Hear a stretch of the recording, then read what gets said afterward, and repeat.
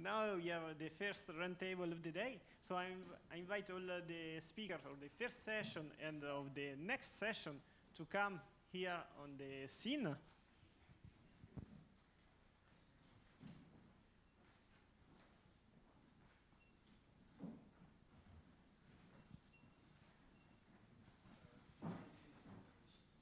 Oui, oui.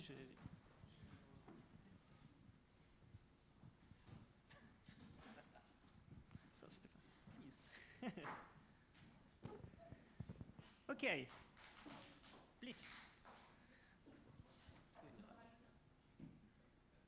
Okay, so uh, the goal of this session uh, is to discuss the role that universities can play in this serious game and gamification world.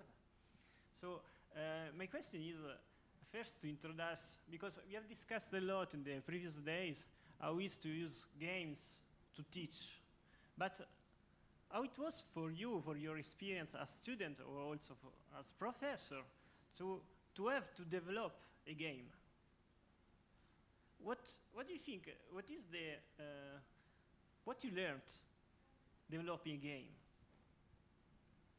Um, well, I, I, I think that, um, uh, that there is definitely a lot to be learned uh, when you're when you're making a game, whether it's just uh, for like entertainment purposes or serious gaming. Um, but what I wanted to say, relevant to uh, uh, the universities, what is really good for uh, people like me and the other students is that we're in direct contact with the teachers themselves. And uh, like I said at the end of my presentation, I, I really believe that uh, to, to be able to create really good serious games, you have to be in close contact with the people who are really good at teaching. And then us as designers, where our role is to communicate, uh, find the best way to communicate something, I believe that just the collaboration between the two is exactly what's needed for serious gaming, basically. And uh, I think we are in a good position because we are uh, learning. So we, uh, for us, we know how uh, we like to learn, and we can make some games uh, in this way. Like, okay, I like to learn uh, in this way and doing these things, and maybe I can redo it in in a game.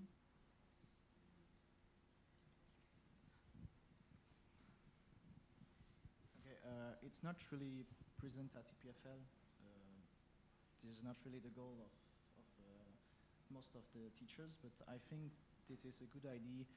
And uh, implicitly, we do it all the days. We have some, um, we have some exercises um, uh, that we do uh, during our studies, and uh, yeah, without be, being conscious of this, um, I think yeah, th- we, we apply this directly um, uh, already uh, now, so that could be a good um, good opportunity. I think the, the teacher should go in this way, and yeah, that's a good perspective for the future. Um, with my game, I think my main uh, lesson was that the player is not always going to behave in the way that you expect them to. So, uh, so I I tested it, of course, by getting people to play it. But they, they played the game um, just as a fun game. But there was another aspect of my game that they were able to use it to participate in scientific research. And you know, my friends and family are not really going to sit down and participate in scientific research. So I didn't get a lot of data on that. So uh, I think it, it was easy for me to assume that my, my project was somehow unique and that uniqueness would be great. But actually, there was, there's a lot of other stuff out there on similar lines that I should have learned from.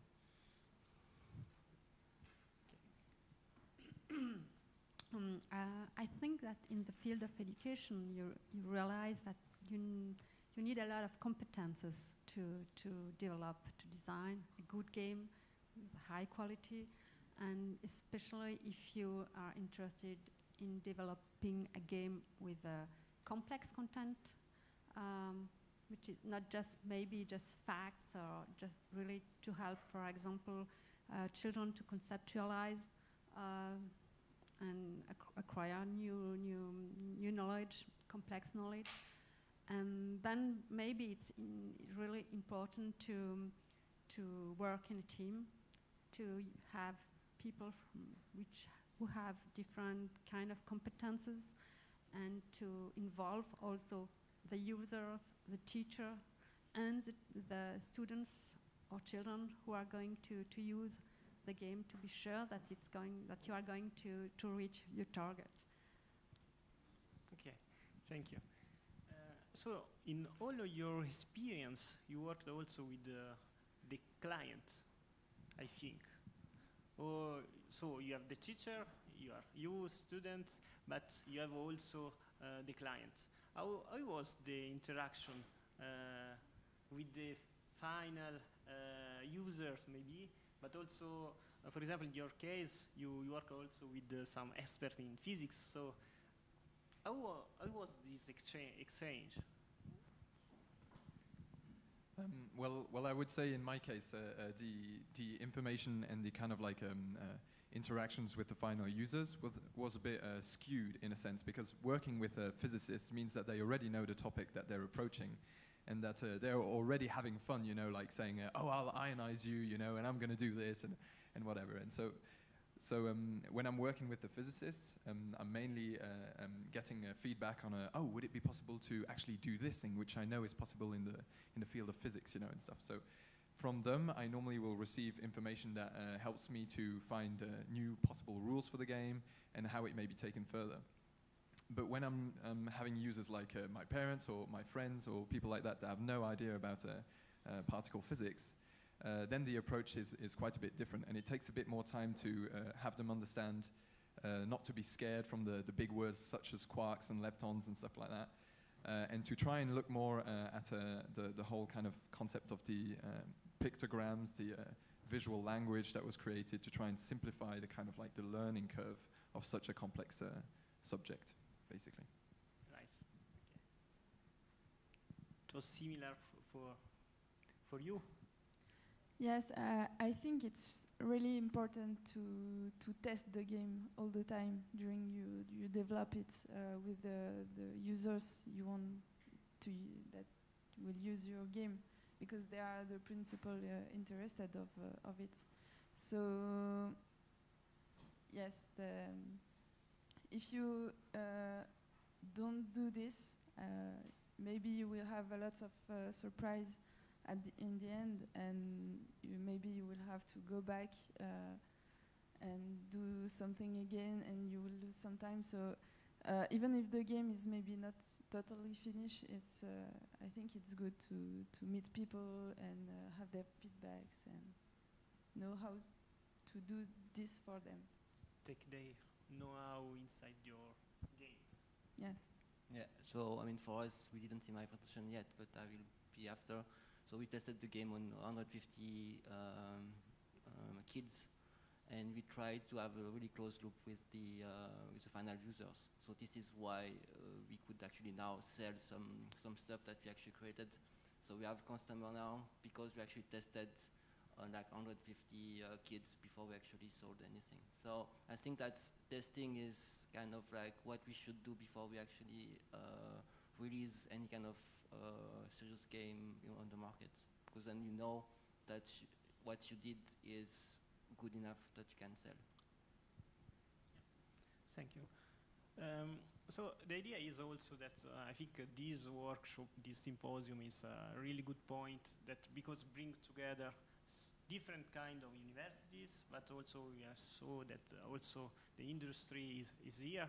So I, I'm quite curious how the industry come uh, to you, for example, in uh, your project. Yes. Yeah. Uh, actually, I wanted to, to do something really concrete for my master project. So that's why I've chosen to work directly in a company. And um, yeah, so this is really motivating actually because um, uh, we, we implement something for people who need this. And um, yeah, we always uh, I've been during my studies I've I've never I've never seen my work uh, published somewhere Th- this is always something that you you throw away and uh, yes you passed but It's Move. finished. So yeah, that's, exactly. that's So, I, I wanted to change this, and this is why I've I've um, I've uh, changed my way to, to see things, and I've chosen to integrate this uh, this company who help directly people and not just uh, search things and uh, do nothing with them. Okay, I don't know if in the public there is someone from the industry that or university that can add something. Yeah. Um, for me, for example, I have uh, I work not in in game but in a, a huge project with a lot of partners and uh, four year four school, um, EPFL, uh, l'école d'ingénieurs de Fribourg, ED, and the University of of, G of uh, and um, we build a house. We will go to the US uh, for a competition, and I think that what can do the school and university on this stuff is to link people.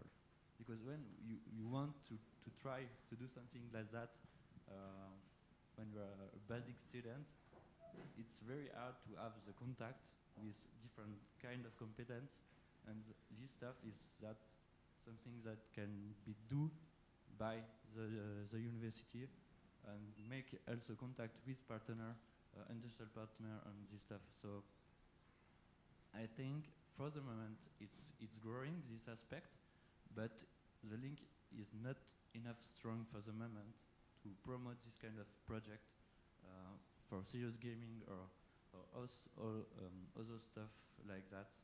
Um, one one guide one kind of, stuff very uh, specific with this uh, this kind of project, uh, the game, is that you need to have this multi multiple multiple uh, point of view. Without that, you don't do a good game. So.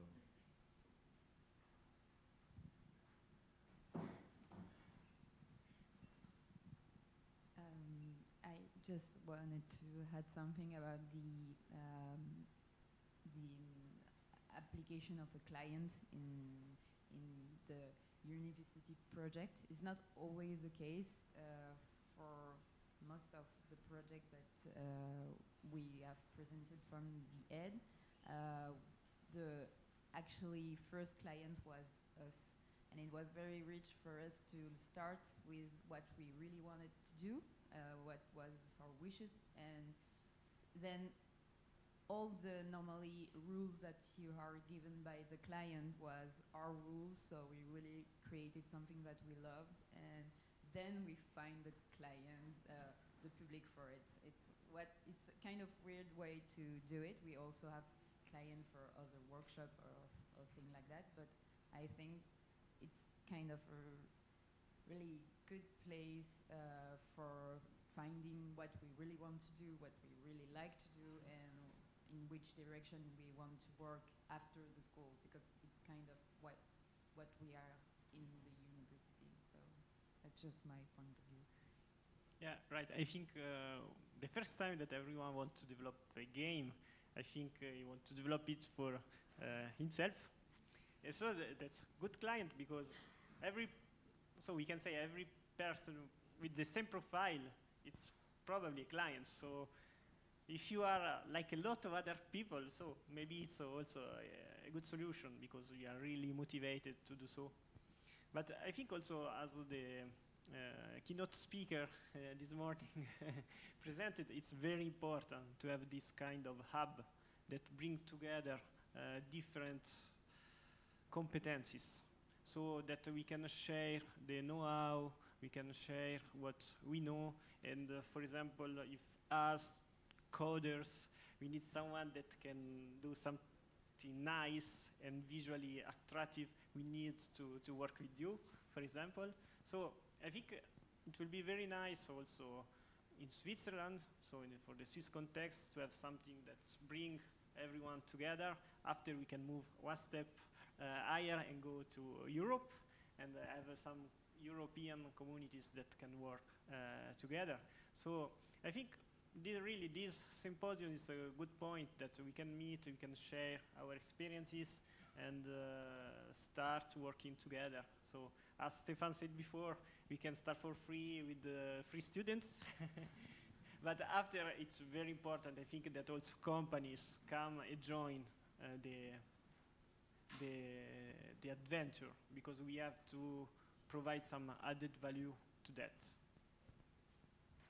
So I, sorry. I have a question. It's um, a little bit uh, out of topic, but uh, I'm coming from the industry, and since uh, uh, yesterday I'm I'm uh, hearing about um, how it can be useful for students, how it can be useful for serious game developers, but we are not talking about the industry itself, uh, how it can be useful. So I have a more provocative question. Um, uh, if I want to develop a game, a serious game in my company, why do I need some serious game developer or from students or from aca- academic world if I can develop it uh, internally? So um, I can reserve resources for this and say, okay, I one developer, one one uh, artist in my company, and just say, I don't need really a good game design for my game. I just want to, to share the point with my customer and make a VR gadget game for, for a congress. So what is the advantages of uh, game developers, of serious game developers, of students for, uh, from an industrial point of view? Would be my point. The counterpart.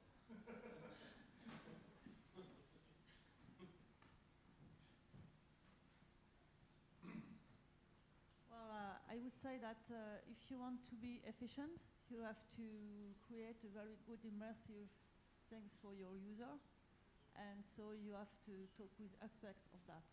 Because I'm not sure that you are able to have the, the inventivity and the experience in no full words called mechanics gameplay, just to improve your, your user experience. That's the key. I mean, of course, you can have the technique, the technical resources, you can uh, hire a great artist, but it's not sufficient to make something to be to be an, an immersive experience. Thierry, maybe you want to add something? Yeah, that your final user, in general, will be used to play uh, commercial games, and um, commercial games is really high quality, really, really high quality. And uh, if you want to touch them, it could be um, immersion, but it could be also graphic quality, FX, animation, sounds, and so many things that make a game. In fact, you need a designer, believe me. So we, we are designers. Uh, do I really need someone who's uh, specialist of game design? Because if I want to share a point with someone on a congress, for example, it's just five, minute, five minutes gameplay. I don't need a specialist for game design. We have good developer in our company who can, I who think can develop. Ruben gives the answer. You need somebody who can answer the problem. It could be a designer, a game designer, or it could be just a specialist with a, a, a, the right answer. Uh, let's say, the, up to a certain extent, the question is which is the problem? Because if you want to do a game just to communicate, to report, or to inform, to make people aware of your game, well, that's, that's advertising with a little bit of gamification or whatsoever. But if you're trying to change the behavior of the person who's using the, the, the game, well, sorry, not the designer, not the developer, but you need somebody that works on the brains of the people, mm, a psychologist that understand which is the behavior they want to change. And in the end, let's see, if you have people that are there doing games every day, in the end it's much more efficient than th- th- they were saying. Hey, keep it simple. Your business, probably, you are not in the industry of games. You are not in the games of wheels. You are not in the games of engines. hmm? You buy a, a, a car to move your people.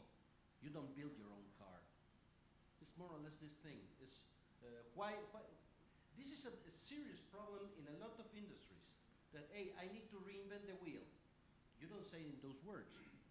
But if there's people here that they're specialists in this, use them. It is much more efficient. And you take care of your own business and you leave this for them.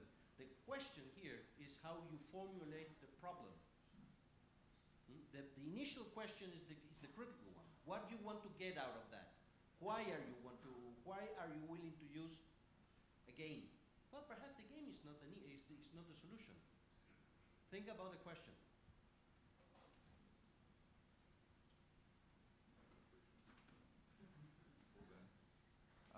It's okay. um, yes, the, uh, my question is how to get out of the university. I mean, you find a solution, you too, because you don't want to be mass market. But these two girls, for example, have a big idea. Do you want to create a company, or what's your plan? Um, the plan is that we built.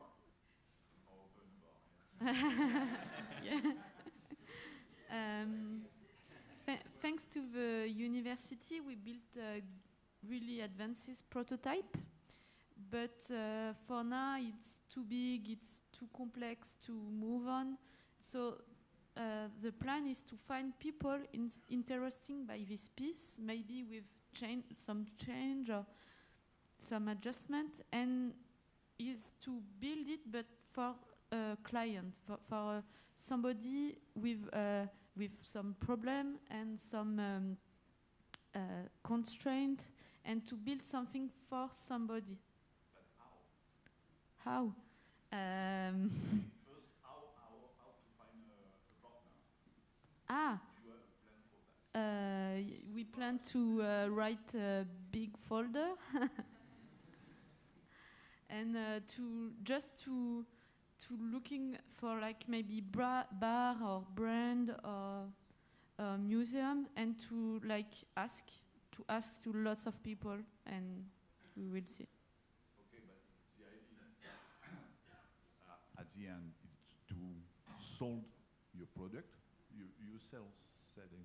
So I I'm waiting for your presentation, but. Um, uh, the, Uh, the idea for you is to solve something. If you want to solve something, you need a company, no? Or Yeah. Yeah, uh, uh, is it for me or for both? I mean, for for for, for me, uh, How- how do so I'm coming from the uh, from the university, and I created my my spin-off for for doing though. So the idea is that I believe in the product, so I decided to uh, to create my my own company to actually uh, do it. So um, so now we are looking for investor, but I mean the idea is that the first product is done. We we show that we can do it, and the idea is to to scale it up. So I mean for for me, if if I have an advice or anything is that uh, if you believe in your product, you should just continue and try to find uh, money or funds. And um, hopefully, if it's a good idea, it, it would it would work. That's kind of my uh, my answer.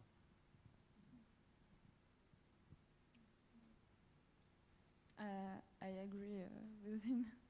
it's uh, yeah, as Margot said, we will uh, we we will go directly to the people we think that could be interested in in our project, and because otherwise, if we just stay in hoping that people will meet us one day and and want to to make a, uh, our project possible, it won't happen never. So we have to go directly to them and meet them and show what we we can do.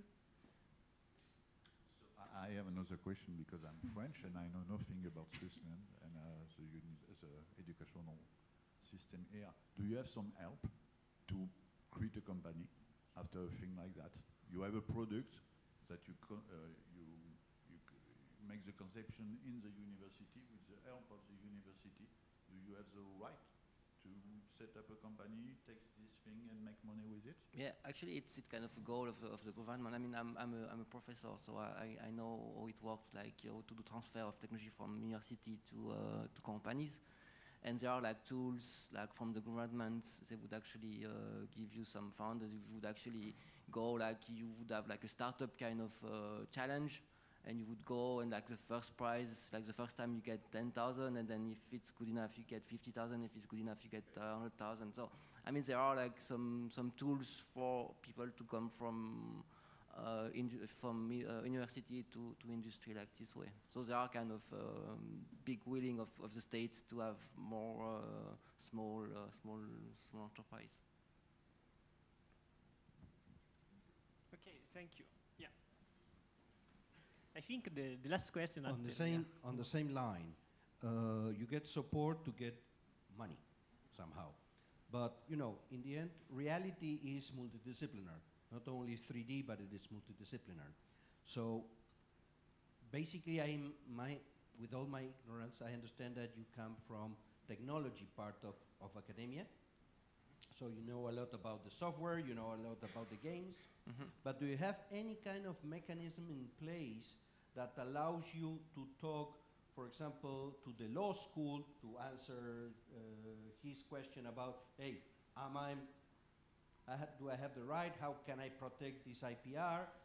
Are you, there is any channel to be in contact with the MBA, with the, the guys of business that can help you with the marketing stuff and with the, there's anything in, in that side? Because money can buy a lot of things, but if inside university you have a lot of colleagues, True. do you have anything in place? That's the question.